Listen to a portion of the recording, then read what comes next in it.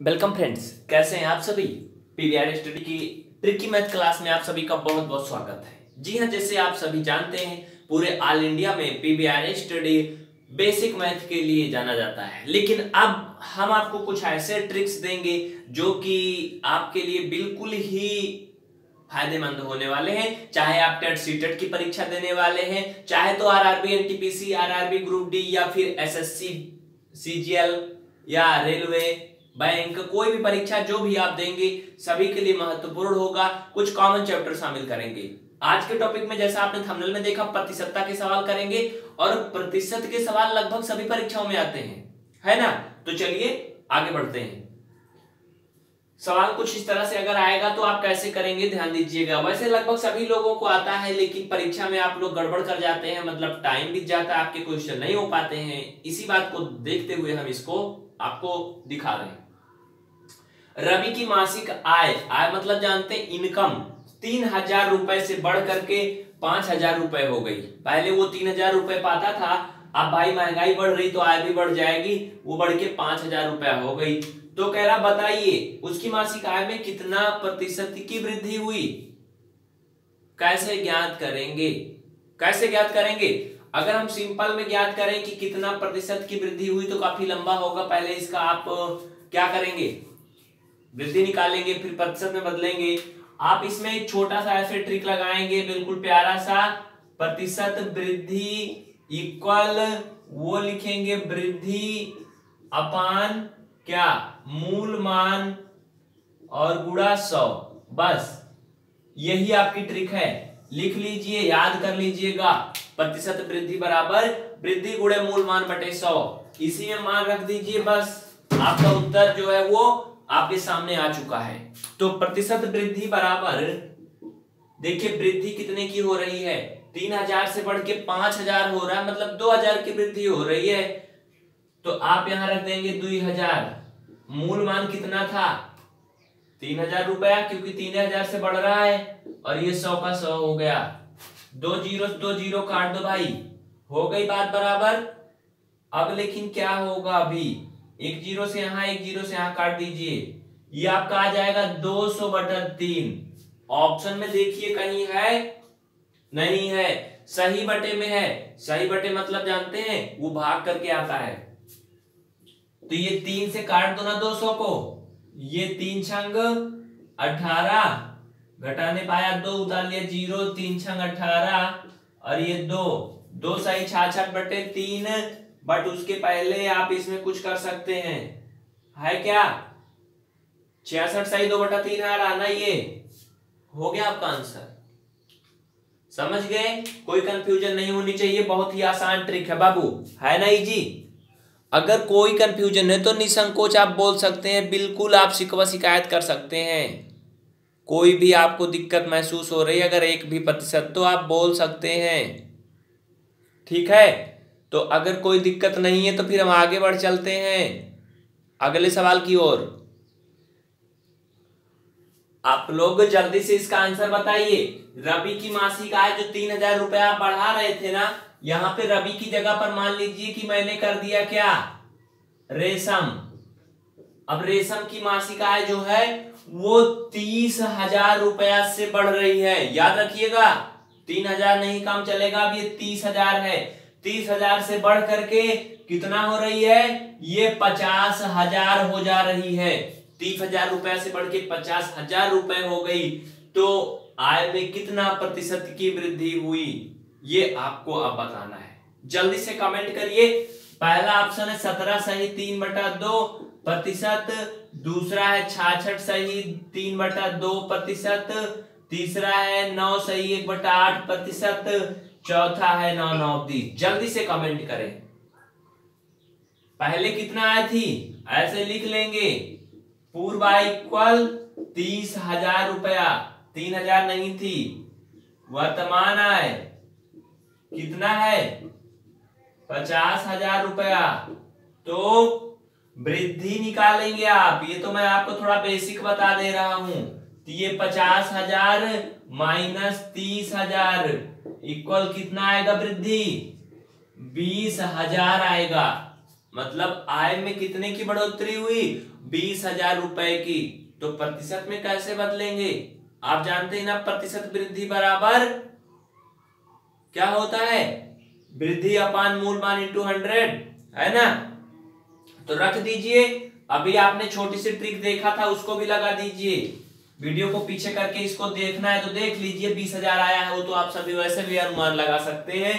तो ये ट्रिक होती है आपकी, प्रतिशत वृद्धि इक्वल वृद्धि अपान क्या?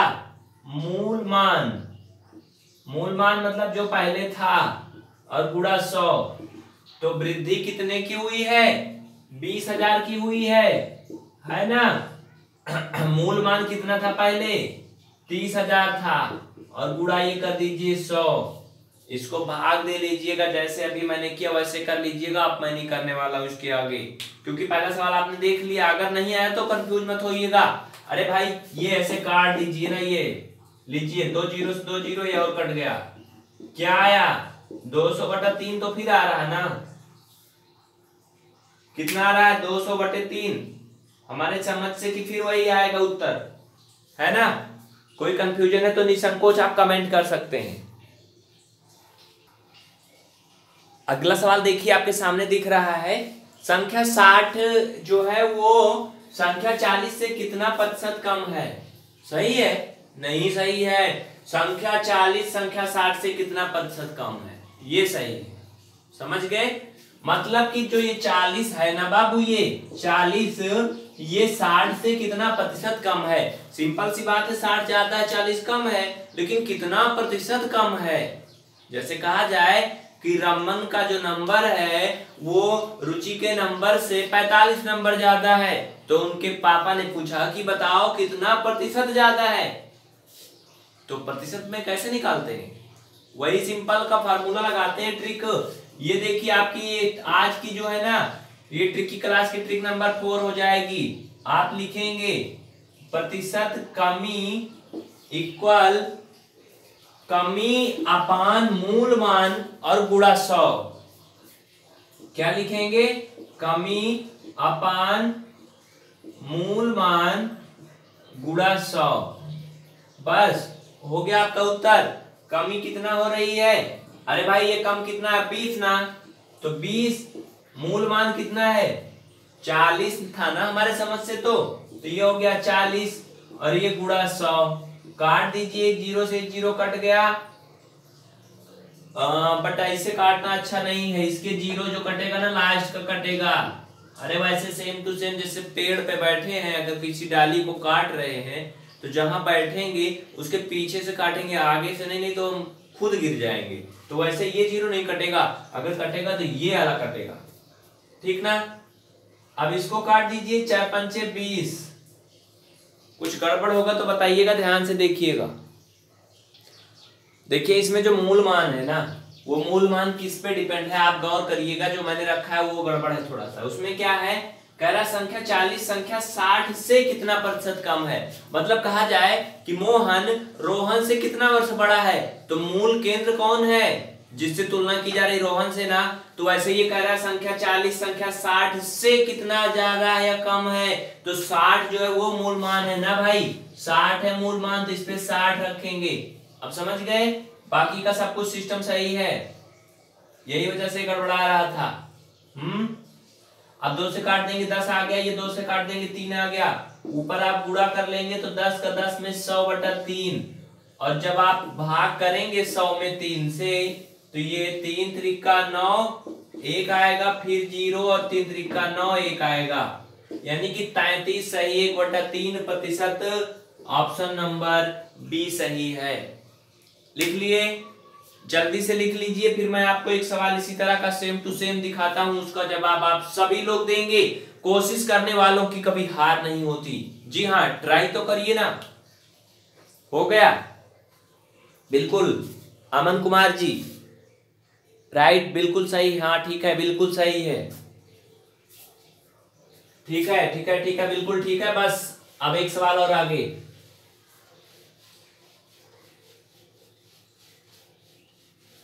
जल्दी से बताइए।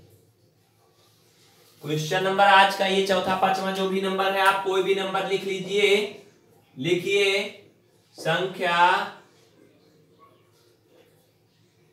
बहत्तर से अठारह घटाने पर कितना आएगा? चौवन आता है। बिल्कुल सही है। संख्या बहत्तर से अठारह घटाएँगे तो चौवन आएगा। तो बताइए, बहत्तर चौवन से कितना प्रतिशत अधिक है? समझ गए कि नहीं? बिल्कुल सवाल थोड़ा सा घुमाया गया है बस। ऑप्शन नंबर पहला जो है वो बीस प्रतिशत है, दस प्रतिशत है, पैतालीस प्रतिशत है और नौ नौतीज है। ऐसे सवाल आते हैं, नचा घुमा के जो आप कंफ्यूज हो जाते हैं। पेपर में आपके किताब का सवाल सिंपल सा सब नहीं मिल जाता ना। कुछ ही सवाल मिलते हैं। बस, बाकी के सभी सवाल नहीं मिलते हैं। अगर सभी मिलने लगेंगे तो सब लोग कर लेंगे ना वैसे? जल्दी से बताइए, संख्या बहत्तर से अठारह घटाने पर चौवन आता है तो संख्या बहत्तर चौवन से कितना प्रतिशत अधिक है? जल्दी करें। सभी के कमेंट्स आ गए, चलिए हम बताते हैं आगे। ठीक है, देखिए। सिंपल सी बात है, आप सभी जानते हैं कि पहले संख्या कितनी थी? बहत्तर थी, फिर कितना हो गई? चौवन हो गई। बहत्तर चौवन से कितना प्रतिशत क्या है? अधिक है। मतलब मूल मूल संख्या कौन सी है? 54 क्योंकि इसी से तुलना की जा रही है। है ना? तो आप क्या करेंगे? मूल संख्या ये रखेंगे। वो कितना प्रतिशत अधिक है? लगा देंगे प्रतिशत वृद्धि वाला जो भी आपने लगाया था। घटाने के बाद कितना आएगा इसमें से? अठारह, सिंपल में दिया भी है आपको। अठारह रख देंगे, नीचे चौवन रख देंगे, अठारह चौवन गुड़े सौ हो जाएगा और आपका उत्तर लगभग वही फिर से आएगा। समझ गए? तो एक सवाल और आगे देखिएगा, बिल्कुल परेशान मत होइएगा। ठीक है ना? एक सवाल और आपको हम देते हैं बुक से। ध्यान दीजिएगा। हाँ तो ये सभी सवाल आपके सामने आ चुके हैं। अब एक टाइप का आपके और भी सवाल पूछा जाता है। बेईमान दुकानदार। है ना? आखिर भाई, दुनिया में बहुत से लोग बेईमानी भी करते हैं, सब ईमानदार ही नहीं होते, हैं ना? कोई चीज़ आप लेने जाते हैं तो तराजू में गड़बड़ करके आपको देते तो है, वो पाँच किलो का सामग्री लेकिन रहता है वो साढ़े चार या चार किलो, सौ ग्राम, दो सौ ग्राम उसमें से कम होता है। तो देखिएगा कैसे होगा। जिसे बोलते हैं त्रुटि मान या गलत मान। होता है, पेपर में लगभग आता है, जैसे एक एग्ज़ाम्पल मैं देता हूँ, ध्यान दीजिएगा। एक बेईमान दुकानदार कहता है कि वह क्रय मूल्य पर ही माल बेचता है, परंतु वह एक किग्रा के स्थान पर 960 किग्रा का झूठा पाठ प्रयोग में लाता है तो प्रतिशत लाभ क्या होगा उसका? आपने देखा होगा त्योहारों पे आता है, भारी छूट भारी छूट, पूरे सौ प्रतिशत की छूट।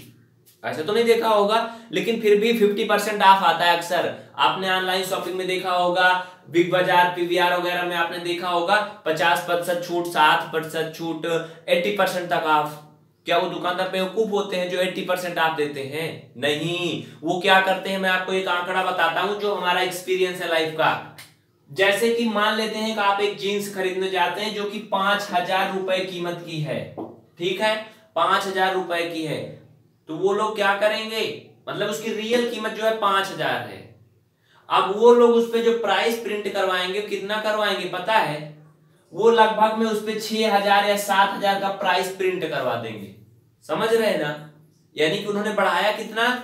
मान लेते हैं कि छह हज़ार प्रिंट कराया तो उन्होंने एक हज़ार रुपया उस पर बढ़ा करके प्रिंट करवा दिया। अब भाई उनको पाँच सौ रुपए का भी लाभ अगर इसमें मिल जाएगा तो भी वो बेच देंगे। तो इसमें से अगर वो कम कर देंगे, छूट दे देंगे कस्टमर को तो उनका नुकसान थोड़ी जाएगा। समझ रहे ना? ऐसे होता है, बाकी दुकानदार कभी बेवकूफ़ नहीं होता है। और जो कस्टमर होते हैं, सोचते हैं हाँ भाई, त्योहार में सब फ्री आ रहा है, जल्दी से सब ले लो, फटाफट. देखिए, सवाल बताइएगा। उत्तर। एक बेईमान दुकानदार कहता है, क्वेश्चन नंबर छठवां, सतवां, भाई, अगर कोई दुकानदार है तो बुरा मत मानिएगा, माफ़ करिएगा। एक बेईमान दुकानदार कहता है, ये सवाल आपकी परीक्षा में ऐसे आते हैं बहु कि वह क्रय मूल्य पर ही सामान बेचता है। लेकिन वह एक केजी की जगह 960 ग्राम का बाट प्रयोग करता है। मतलब जान रहे हैं? वो एक किलो का सामान नहीं देता किसी को 960 ग्राम देता है बस। तो उसका लाभ प्रतिशत क्या है?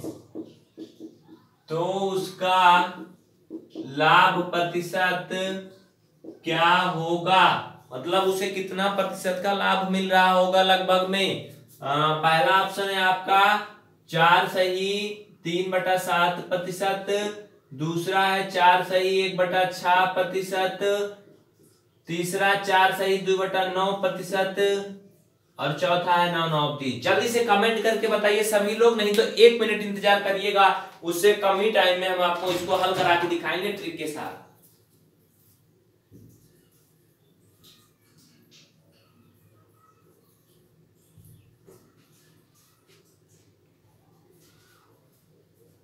हो गया ना सभी के? तो मैं आपको बता दूँ, इसमें ट्रिक कौन सी लगेगी? जल्दी से नोट कर लीजिए। अरे वही, प्रतिशत लाभ बराबर, त्रुटि अपान, गलत मान गुड़े सौ। लगा दीजिए फटाफट। ट्रिक देखिए। लाभ प्रतिशत बराबर, त्रुटि। ऐसे तो होगा ना त्रुटि? बिल्कुल। अपान क्या? गलत मान। गुड़ा सौ। तो त्रुटि कितने की हो रही है? भाई, एक किलो में आप सभी जानते होंगे, बिल्कुल सिंपल सा है, लेकिन कुछ लोगों को नहीं आता ये। एक किलो में एक हज़ार ग्राम होता है, लेकिन वो गड़बड़ी क्या कर रहा है? 960 ग्राम का बाट प्रयोग कर रहा है मतलब वो 40 ग्राम एक किलो में गड़बड़ कर रहा है। तो गलत मान जो है वो त्रुटि कितने का कर रहा है? त्रुटि 40 ग्राम की कर रहा है ना? तो ये 40 हो गया। गलत मान मतलब वो कितना प्रयोग कर रहा है? 960 प्रयोग कर रहा है, ये गलत मान है। और गुड़े हो गया 100 बस हल कर लीजिए, ज़ीरो से ज़ीरो कट गया। इसको काट दीजिए, दो से अगर काटेंगे, या फिर आप चार से काट दीजिए तो नहीं कटेगा। दो से काट दीजिए, दो, चौक आठ, दो अठे सोलह। अरे दो पंचे दस। इसे आप काट दीजिए किससे? चार से।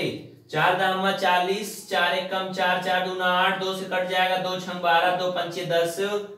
आ, कुल मिला करके आपका ये कितना आएगा? पच्चीस बटे छ। है ना? पच्चीस बटे छ। लेकिन इसे आप भाग देंगे फिर तो क्या होगा? यही मैं छोटा सा भाग दे लेता हूँ पच्चीस में छ से। आप लोग भी कर लीजिएगा अपनी अपनी कॉपी में। छ चौक चौबीस, यानी कि चार सही एक बटा छ प्रतिशत लगभग में आएगा। कितना आएगा?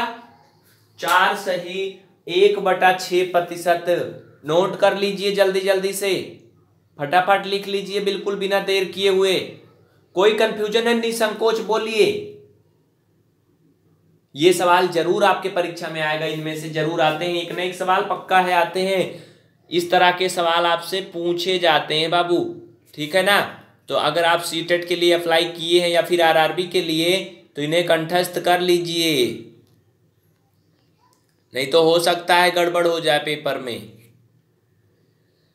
आगे चलें फिर अगला सवाल। ध्यान दीजिएगा। अगला सवाल। मान लेते हैं कि कोई इससे भी अच्छा दुकानदार है दिमागदार तो उसको कितने का लाभ होगा?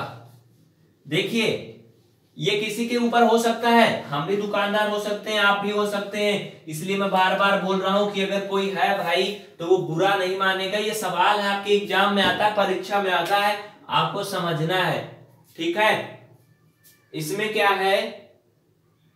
एक केजी की जगह वो 960 ग्राम का प्रयोग करता था ना।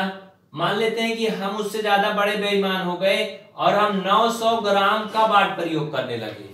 मतलब एक किलो की जगह पे 900 ग्राम का बाट प्रयोग करने लगे तो लाभ प्रतिशत क्या होगा? आप बताइए। अभी तक तो वो एक हज़ार की जगह पर 960 ग्राम दे देता था। मात्र 40 ग्राम की ठगी करता था। अब मानते हैं कि हमने 100 ग्राम की ठगी शुरू कर दिया? सीधा सीधा 60 ग्राम और बढ़ा दिया। अब हमारा लाभ प्रतिशत कितना होगा? मैं अपने बारे में क्यों बोल रहा हूँ? क्योंकि अगर आपको बोलूँगा तो आप बोलेंगे बहुत। पता नहीं क्या क्या बोलेंगे। है ना?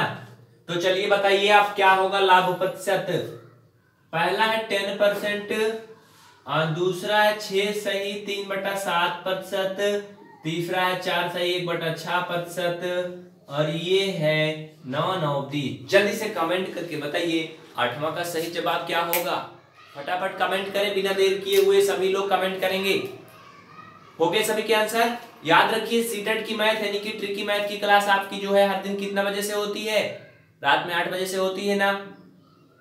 और सीटेट की घड़ी सुबह छह पैंतालीस से टाइम दिया गया है तो ये आप छह पैंतालीस से भी देख सकते हैं। ठीक है? दोनों टाइम में आपको ट्रिकी मैथ ही मिलेगी। चले आगे। इसका सही जवाब आप लोग बताइएगा। मैं आपको इसमें ट्रिक या फार्मूला बता देता हूँ, मान रखना भी बता देता हूँ, फिर आप लोग बताइएगा। ये होगा प्रतिशत लाभ बराबर त्रुटि अपान गलत मान गुड़ा सौ। तो त्रुटि कितने की कर रहे हैं? भाई, एक हज़ार ग्राम की जगह पे 900 ग्राम प्रयोग कर रहे हैं। मतलब कि 100 ग्राम की गड़बड़ी कर रहे हैं। है ना? यहाँ एक किलो कहा है। एक किलो में एक हज़ार ग्राम होता है। तो त्रुटि कितने की हो रही है? सौ ग्राम की। गलत मान कितना प्रयोग कर रहे हैं? नौ सौ। और ये गुड़ा हो गया, सौ। दो ज़ीरो से दो ज़ीरो काट दो ना। कितना आया? सौ बटा नौ। नौ से भाग दे देंगे तो ये लीजिए मैं कंप्लीट कर देता हूँ। नौ एक कम नौ, एक आया ज़ीरो, नौ एक कम नौ। ग्यारह सही, एक बटा नौ प्रतिशत का लाभ होगा। समझ गए ना? लेकिन ये लाभ अच्छा नहीं, बाबू, ऐसा नहीं करना चाहिए। समझ गए? नोट कर लीजिए स्क्रीन शॉट ले लीजिए वीडियो को रोक करके कॉपी में लिख लीजिए नोट बना लीजिए, जो मर्ज़ी हो कर लीजिए। आगे बढ़े फिर। जल्दी करें, फटाफट देर ना करें। देखिए ट्रिकी मैथ आप सभी के लिए विशेष महत्वपूर्ण होती है। आपसे विशेष रिक्वेस्ट होगी अगर नए नए जुड़े हैं और अभी तक आपने इस क्लास को लाइक नहीं किया, बाबू ना तो जल्दी से कर दीजिए और चैनल को भी सब्सक्राइब कर लीजिएगा, जिससे कि आपको अगली क्लास भी मिल सके, क्योंकि आपको याद दिलाना पड़ता है। है ना? उम्मीद करते हैं आप लिख लिए होंगे। अगर नहीं लिखे तो थोड़ा सा वीडियो को पीछे करके फिर से देख लीजिए। आपको बिल्कुल समझ में आ जाएगा, ये हमारी पूरी ज़िम्मेदारी होगी। आज की क्लास में आपने दो से तीन ट्रिक देख लिया होगा। अगली क्लास ज़रूर देखिएगा, हम आपके लिए और इससे बेहतर ट्रिक लेकर के आएँगे। और हाँ चलते चलते अगर अभी तक आपने इस नंबर को नहीं नोट किया तो अवश्य नोट कर लीजिए। इस नंबर पर अपना नाम, परीक्षा नाम लिख के भेजिएगा। आपका नंबर सेव कर लिया जाएगा हमारी टीम की तरफ़ से तो आप व्हाट्सएप की स्टेटस में क्लास की अपडेट पाएँगे। लेकिन चैनल को सब्सक्राइब करके नोटिफिकेशन की बटन ऑन रखेंगे तभी। और हाँ अपनी पढ़ाई से संबंधित प्रत्येक समस्या के समाधान के लिए विज़िट करिए कॉम डिस्क्रिप्शन में दी गई लिंक के माध्यम से आप हमें अन अकेडमी पर फॉलो करें, जिससे कि आपको पर्यावरण, बाल विकास, मनोविज्ञान, हिंदी, अंग्रेज़ी, सामाजिक विज्ञान और सभी क्लासें मिल सके। समझ रहे हैं ना? अगर आप ये क्लास फेसबुक पर देख रहे हैं तो वहाँ पे लिंक दी गई होगी। वहाँ से आप यूट्यूब पे आए और पीबीआर स्टडी में कंप्लीट कोर्स पाए। अगर आप यूट्यूब पर देख रहे हैं तो डिस्क्रिप्शन में दी गई लिंक से आप पीवीआर स्टडी फेसबुक पेज को लाइक करें, जिससे आप ये क्लास फेसबुक पर भी देख सकें। ठीक है ना? और हाँ इतना ही नहीं। पीवीआर स्टडी के दूसरे यूट्यूब चैनल जो कि और आपके दो यूट्यूब चैनल हैं, आप पढ़ाई से संबंधित जिनका नाम है पीवीआर स्टडी ग्रुप और मैथ आसान है। जी हाँ मैथ बिल्कुल आसान है। इन दोनों चैनल को अगर आप सब्सक्राइब करके रखेंगे तो आपको गणित सिखाने की कंप्लीट ज़िम्मेदारी होगी। तो मित्रों, आपको कैसी लगी ये क्लास? अपने विचारों को अवश्य कमेंट करिएगा। आज के लिए बस इतना ही। आप सभी इस क्लास में आए, हमारा इतना सहयोग किया, इसके लिए आपको कोटि कोटि धन्यवाद। फिर से एक नई क्लास, एक नई उम्मीद के साथ, इसी टाइम पे, इसी वक्त फिर से आएँगे। तब तक के लिए शुक्रिया। अपना ख्याल रखिएगा। लेकिन हाँ इस क्लास को शेयर अवश्य करिएगा बाबू। विशेष रिक्वेस्ट होगी। और ज़रूर करेंगे आप, यही उम्मीद है। तो चलते हैं फिर। अपना ख्याल रखना। जय हिंद, जय भारत।